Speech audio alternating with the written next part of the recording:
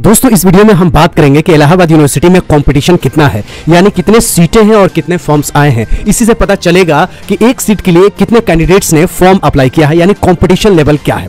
कब तक last date है फॉर्म भरने की और एंट्रेंस एग्जामिनेशन की डेट्स क्या है। तो एक एक करके तीन मुद्दा इस वीडियो में सॉल्व करेंगे। तो पहला मुद्दा कि आप एडमिशन के लिए फॉर्म सात अक्टूबर तक अप्लाई कर सकते हैं। पहले ये तीन अक्टूबर तक थे, लेकिन अभी सात अक्टूबर तक फॉर्म अप्लाई कर सकते हैं। तो पहला मुद्दा सॉल्व हो गया कि इलाहाबाद यूनिवर्सिटी में एडमिशंस के लिए फॉर्म सात अक्टूबर तक अप्लाई कर सकते हैं। यूजी पीजी और इंस्टीट्यूट ऑफ़ प्रोफेशनल कोर्सेज के लिए। तीनों में आप सात अक्टूबर तक फॉर्म अप्लाई कर सकते हैं। अब दूसरा मुद्दा है एंट्रेंस एग्जामिनेशन उसके बाद कॉम्पिटिशन लेवल पे आएँगे।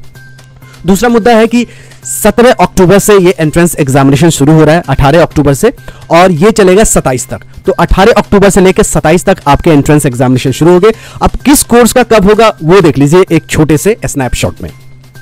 अब देखिए 20 अक्टूबर का जो टेस्ट होने वाला है, उसमें पीजी 82 दो शिफ्ट में ऑनलाइन मोड में टेस्ट होगा। उसी डेट में entrance examination UG AT B A L L B M com और एल एल एम का ऑनलाइन एंड ऑफलाइन मोड में होगा। उसके बाद entrance test for these courses would also be conducted on next day same courses का next day भी होगा October twenty को। उसके बाद आईपीएस में मतलब कि प्रोफेशनल कोर्सेज जो है, उसमें अक्टूबर सेकेंड में ट्वेंटी सेकेंड्स में, यानी अक्टूबर 22 में टू शिफ्ट में एग्ज़ाम्स होंगे।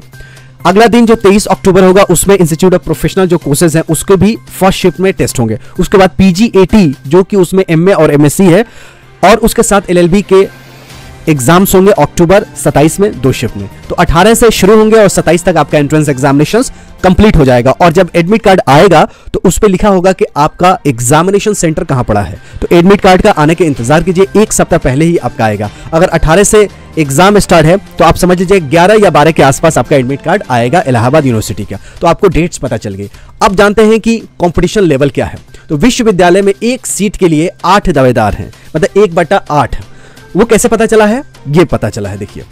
इक्कीस हज़ार चार सौ उनचास फॉर्म आए हैं पंद्रह सौ पचहत्तर सीटों के लिए। तो पंद्रह सौ पचहत्तर सीटों के लिए इक्कीस हज़ार चार सौ उनचास है। वो सीट जो है, वो डिपेंड करता है कोर्स टू कोर्स। सीटें वेरी करती है और फॉर्म का एप्लीकेशन भी। जो अच्छे कोर्स है, उसमें फॉर्म ज़्यादा आएँगे। जो कोर्स का डिमांड कम है, उसमें कम आएँगे। अच्छा बुरा कोई कोर्स नहीं होता, सारे कोर्स सेम ही होते हैं।